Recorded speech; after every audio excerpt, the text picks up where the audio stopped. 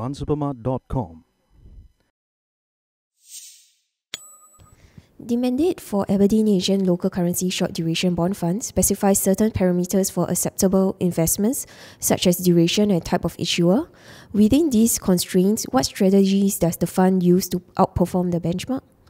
The benchmark for us is a reference point. We, don't, we, we, we use that as a means to identify the universe of opportunities within Asia. We're not beholden to the benchmark. We, we, we're aware that the benchmark exists, um, but we don't try to replicate the benchmark uh, in any way, nor are we constrained uh, in, by, by way of any tracking error restrictions therein. Uh, with respect to the management of the portfolio, we have a couple of key principles in mind. One is to, to keep the portfolio uh, diversely allocated across the broad suite of currencies within Asia. Two is to, to within that uh, framework, to seek to enhance the yield of the portfolio. Obviously, when people are giving us money to invest in the local currency bond markets, we, they're looking for uh, a, an, an, enhancement to the yield as best uh, possible. Uh, thirdly, um, we look to, to manage the currency risk, to identify the opportunities within Asia uh, for currency appreciation on a relative value basis. So when it comes to, to adding value within the mandate, uh, first and foremost, we're looking at, at uh, seeking uh, yield uh, within, the, within the, the, the, countries that we're, we're allocating to.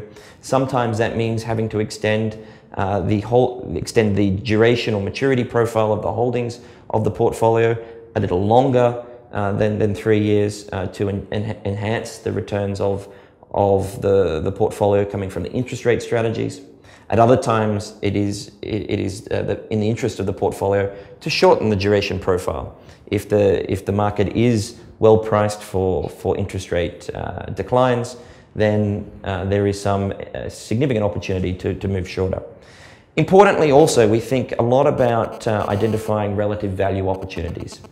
So, in some markets, uh, there are instruments issued by the government uh, that yield a higher, higher yield than others.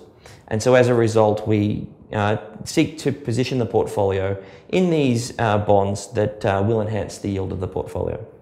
With respect to the currency management, as I said, the most important aspect of, of managing currencies, in our view, is to remain active to be aware of the relative value opportunities. We, we have a very structure, positive structural uh, view with respect to the, the likely performance of Asian currencies over the medium term. But that's not to say all Asian currencies will perform in line with one another. At various points in time, it, we will identify candidates for outperformance within the Asian currency universe. And, and so what we seek to do is to rotate out of, out of the, the candidates where we think the currencies will underperform into, the, into those currencies where we expect outperformance.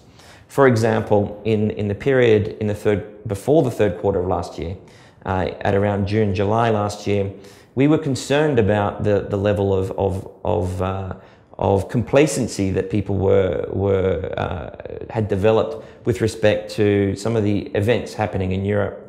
And so what we sought to do was to reduce the risk, the risk coming from the currency strategies in the portfolio by reducing our exposure to the Korean won in favor of the, the Chinese renminbi, a much uh, more attractive currency in times of uncertainty.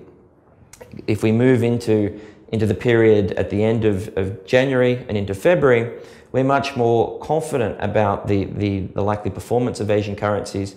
And indeed, uh, we, we've begun to see evidence of an improvement in risk appetite. As a result, we reduced our exposure to the, to the, to the, to the Chinese renminbi, that lower beta, lower risk currency, and reallocated the, the, the, the, exposure back into the Korean won to participate in the improving uh, risk appetite and, and likely performance on a relative basis of the currencies, uh, the Korean won relative to the, to the others. How was the fund's positioning prior and after the upgrade of Indonesia's credit rating? Was the rating upgrade expected and were significant changes made to the portfolio thereafter? Indonesia has uh, long been a, a very positive story uh, in, in the view of the Aberdeen team. Uh, we, we particularly like the, the significant enhancements to uh, the administrative effort, the coordination of policy in Indonesia. Indonesian policymakers have been focused on, on encouraging uh, infrastructure uh, investment in the country. Importantly for us as, as investors, particularly currency investors, uh, the most important dynamic and feature of that coordination has been in the, in the encouragement of, of foreign direct investment. The Indonesian authorities uh, are very keen to harness foreign capital to participate and, in the investment opportunities in Indonesia. That's very positive for the performance of the, of the Indonesian currency, in our view. So in the period uh, in September, when, when people were moving to position themselves very cautiously, we used the opportunity to actually add our exposure to the Indonesian bond market and also to the Indonesian currency. In view of this very positive structural uh, outlook that we, we have, we have, uh, I guess, been disappointed with the rating agencies in that they've really lagged the, the, the economic development. Uh, they're really playing catch up, the, the, the rating agencies. And so we, we, we have been positioned uh, quite favorably and, and, and, and in anticipation of the likely upgrades for Indonesia. The, the, the upgrade by, by uh, Moody's in, in uh, January really has uh, excited the, the marketplace because it now lifts Indonesia into uh, investment grade status. The, the Indonesian market responded favorably, the bond, bonds have rallied. Uh, the currency also uh, moved in, in a favorable way.